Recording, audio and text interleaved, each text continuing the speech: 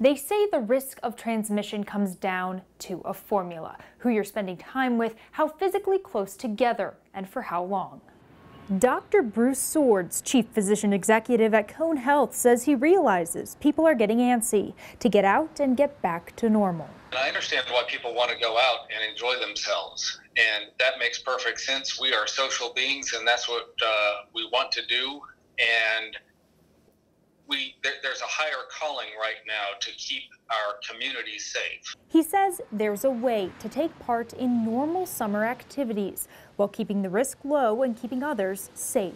Considered lower risk, spending time outdoors, social distancing at the beach, even having a small backyard get together. I think there's ways to do that uh, well.